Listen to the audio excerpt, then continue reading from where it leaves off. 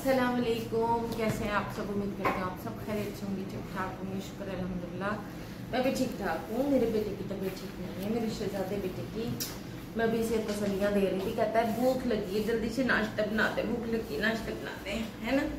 है ना भाई? भूख लग रही है। रात को बोले तो खाना नहीं खाते सही से। फिर सुबह इनको भूख लगने लगती है। है ना भाई? हमारे भी तो दो दिन होते हैं थोड़ा रेस्ट करने के, कि सुबह मैं उठती हूँ तकरीबन डेली उठती हूँ साढ़े पाँच बजे और सैटरडे, संडे उठती हूँ नौ बजे तक। तो आज जो है ना, बस ये लोग उठा दिए, इन लोगों ने आठ बजे, नौ बजे तक। और मैं भी ढीठ बन के ले ली एक घंटा।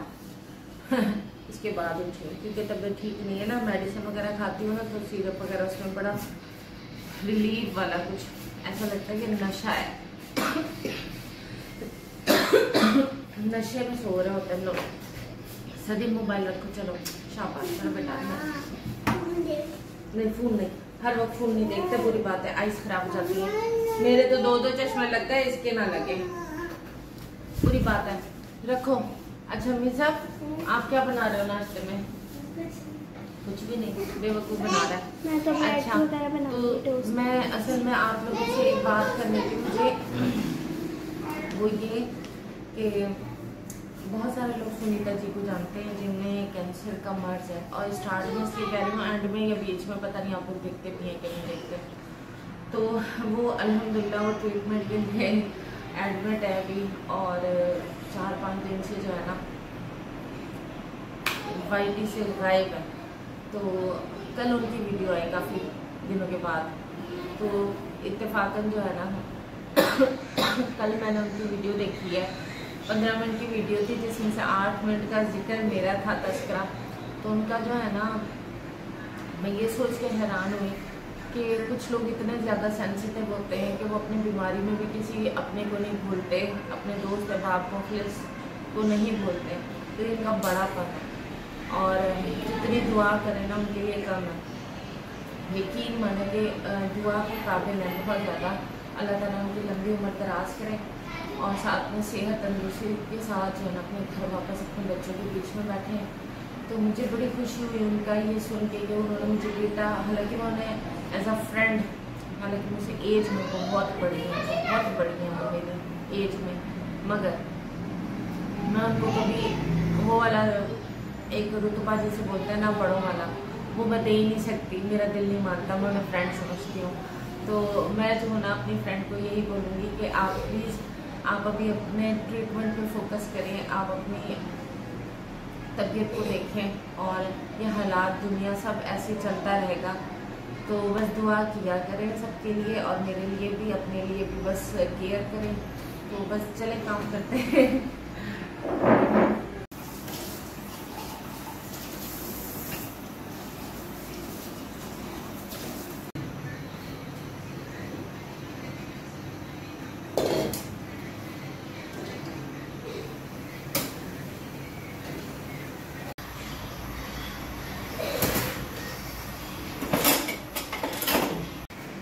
अच्छा इस्त्री दिल्ली पे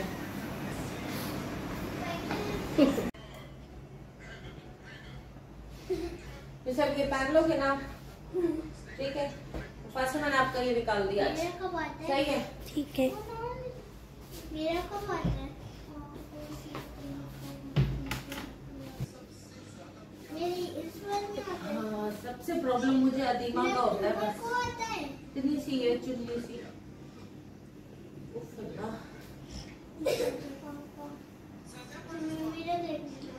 उधर है मैंने देख ली था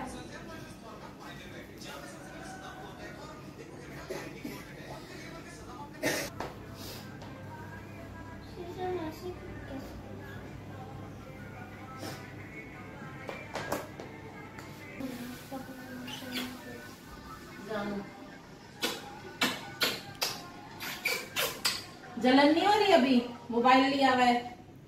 ये देखो मैं इसको किची कर ली हूँ। ईचप भैया को। ईचप भैया को। ईचप किसके हो? जल्दी से बताओ। मामा के?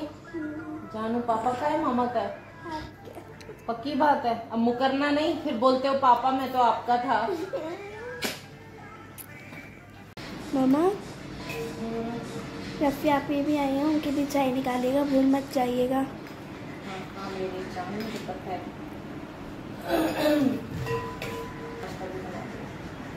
अच्छा बहुत सारे लोगों के ना दिल में सवाल है बहुत सारे लोग मुझसे पूछते भी हैं। और मैं उन्हें जवाब एक्चुअली कभी कमेंट में दे पाती हूँ कभी नहीं क्योंकि इतना कोई शॉर्ट टाइम होता है मेरे पास। सारा दिन मेरा ना भागना दौड़ना चल रहा होता है। तो मेरे पास ना यकीन माने कि सर में रात को इतना कोई दर्द होता है। और मैं ए, सर के दर्द की टैबलेट भी डेली लेती हूँ। अगर मैं ना लूँ तो ऐसा लगता है कि जैसे ना ये फट जाएगी मेरी आँखें फट जाएँगी। तो इस तरह की पोजीशन होती है। तो बहुत सारे लोगों के दिल में सवाल है कि आपके हस्बैंड क्यों नहीं आते वीडियो में? आपके हस्बैंड क्यों नहीं आते? तो मैं बताती हूँ आप लोगों को क्यों नहीं आते हाँ। और बिस्किट भी तक अच्छा। स्पेशल वाला तक मैं खाऊँगी टक मुझे अच्छा लगता है। गला खराब है। स्पेशल मिल अच्छा तो मैं ये बता रही थी कि मेरे हस्बैंड इसलिए नहीं आते, क्योंकि आज से एक साल पहले अगस्त में ही मैंने चैनल स्टार्ट किया था और मैंने जो है ना अपने हस्बैंड से बड़ी मिन्नतें समाजे कर कर के मैंने चैनल ऑन किया था और वो इस चीज़ से बिल्कुल राज़ी नहीं थे, बिल्कुल भी राज़ी नहीं थे। और अभी भी अगर मैं कर रही हूँ ना तो उन्होंने मुझसे एक वादा लिया था कि देखो, कभी भी ना मुझे मत लेकर आना। ये तुम्हारा अपना शौक है, तुम जानो, तुम्हारा काम जाने। और वादे खिलाफी कभी नहीं करना मेरे साथ। तो बड़ी मुश्किलों के साथ मेरा चैनल उन्होंने मेरा जो है ना, मुझे परमिशन दी थी। तो जिसकी वजह से जो है ना, मेरे हस्बैंड नहीं आना चाहते, वो इन चीज़ों से बड़े दूर रहते हैं। मुझे नहीं पता क्यों रहते हैं दूर। मगर उनका एक अलग एक, हमारी फैमिली में मेरे हस्बैंड का एक अलग ही उनका माइंड होता है। बहुत सीरियस पर्सनालिटी है वो। और अगर मेरी दोस्त है, बाप, जितने भी जान पहचान वाले हैं, वो अच्छे तरीके से जानते हैं तो वो इन चीज़ों से बहुत ही ज़्यादा, जैसे बोलते हैं ना दूर दूर तक भी उनको कोई तवज्जा नहीं है इस तरफ़। तो ये जो है ना, इसीलिए मेरे हस्बैंड वीडियो में नहीं आते। और कोई ऐसा इशू नहीं।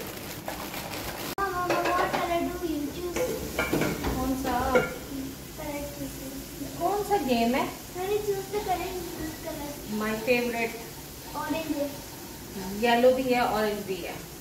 एक कलर है। ऑरेंज ऑरेंज ऑरेंज बस। Number number eight E I T H T eight my god दूसरा नंबर चूज़ करें। Seven S E B N seven eight और सेवन माय गॉड हाँ। इसमें क्या है? वाओ मैं इंटेलिजेंट हूँ दुनिया पागल समझती है। अच्छा जी तो अभी जो है ना मैं लंच में बना रही हूँ कोफ्ते। कोफ्तों के लिए मैंने ये सारे मसाले जितने भी हैं वो सारे मैंने रेडी कर लिए हैं। किचन पे मत जाया करें ये मेरा फैला हुआ ही मिलेगा। दोपहर को तीन बजे, बिल्कुल साफ़ शफाफ सारा हो जाता है मेरा। और सारे कैबिनेट मेरे साफ़ होते हैं, अंदर बाहर से होते हैं, और ये सब कुछ तीन बजे तक मेरा माइंड हो चुका होता है। और जनाब, इसके अलावा बस मैं आखिर में यही कहूँगी कि बहुत सारी मेरी बहनें सब लोग मुझे यही बोलते हैं कि टेंशन मत लिया करें रिलैक्स रहें, और जो जलते हैं, जो बुरा कहते हैं, उनको इग्नोर करें। तो अपनी ज़ात तक जो बात होती है ना तो बंदा कुछ हद तक बर्दाश्त कर लेता है। जब माँ बाप तक और ख़ानदान तक बात चली जाती है ना तो बर्दाश्त ख़त्म हो जाती है। तो इसीलिए मैं हाइपर हो जाती हूँ थोड़ा सा नर्वस हो जाती हूँ टेंशन में आ जाती हूँ। तो बस और कोई ऐसी वजह नहीं होती। तो अब आप लोगों से बात करके मेरा दिल खुश हो जाता है थोड़ा सा। तसली देते हैं आप लोग और प्यार का हर कोई भूखा होता है तो मैं भी प्यार की भूखी हूँ। तो चलें जी, अभी जो है ना, हम कोफ्ते बनाएँगे, निहारी बनाएँगे इन बच्चों के लिए। तो कल संडे का दिन है, क्योंकि खाना वाना बना होता है ना तो बहुत सारे काम आसान हो जाते हैं। तो अल्लाह हाफ़